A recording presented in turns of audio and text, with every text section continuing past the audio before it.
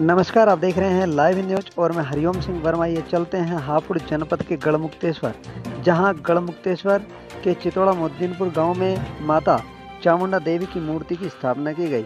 हापुड़ जनपद के गढ़मुक्तेश्वर के गाँव, मोदीनपुर में रामनवमी को माँ चामुंडा की मूर्ति स्थापना, ठाकुर रविंद्र प्रताप सिंह, हाल निवासी विनोद नगर, दिल्ली, जिनका पैतृक गाँव चितौड़ा मोदीनपुर है नए परिवार सहित गाँव में रामनवमी को माँ चामुंडा की मूर्ति स्थापना से पहले फेरी लगाने के बाद यज्ञ कराया और फिर मूर्ति स्थापना कराई।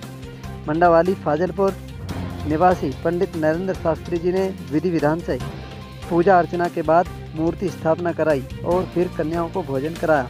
जनपद हापुड़ से दुरेश तोमर की रिपोर्ट। में आज गाँव में कार्यक्रम हो रहा है। ये क्या कार्यक्रम है?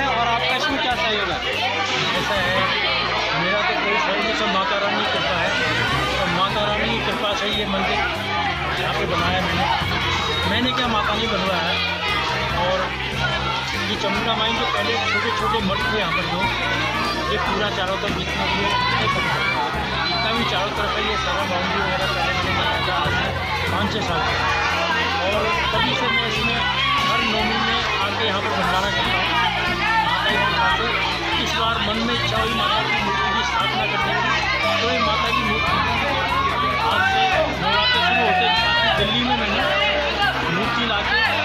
और घर पर ये उनकी कार्यक्रम होता है। वो मैंने वहाँ इसका दिखाया। और उसके बाद कल हम लोग यहाँ पर आ गए पूरे परिवार के साथ। और आज ये माता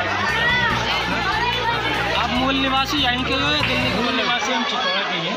जो पुराना बुज़ुर्ग के नाम से ये अपने पिताजी के नाम से मैंने मंदिर का निर्माण कराया। मेरे पिताजी सिंह यहाँ के मुखिया भी थे एम भी रहे थे शुरू में। और सब उन्हीं की कृपा है, उन्हीं की कृपा से सारा कुछ होता है।